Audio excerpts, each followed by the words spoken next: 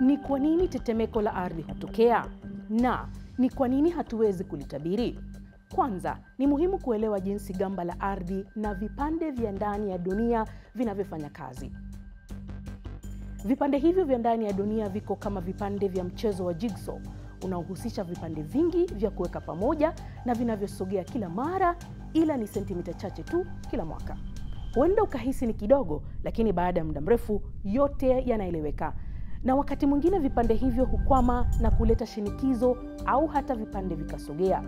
Wakati shinikizo linapoondoka ghafla, hili huisababisha ardhi kutetemeka kwa nguvu, hali tunayoita tetemeko la ardhi.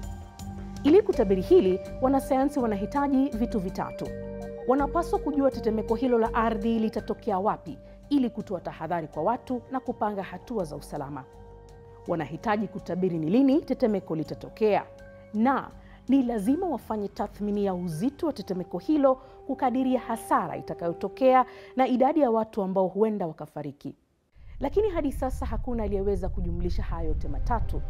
Maeneo yanayokabiliwa na tetemeko la ardhi huwa na sehemu zenye mpasuko wa ardhi, hali inayofanya kuwa ngumu kutabiri na kuelewa matetemeko hayo ya ardhi. Sio matetemeko yote ya ardhi ambayo hutoa ishara za awali kabla ya kutokea. Tunahitaji kutazama kwa kina na kupima hatua za ardhi kusonga katika maeneo makubwa kwa miaka mingi, na huwa sio rahisi kuweza kufanya maamuzi kwa utabiri usio na uhakika.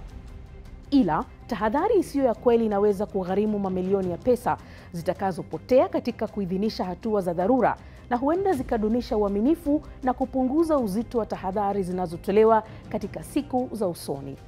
Japo kuna utafiti unaoendelea, uwezo wa kutabiri kwa uhakika matetemeko ya ardhi bado ni changamoto kubwa.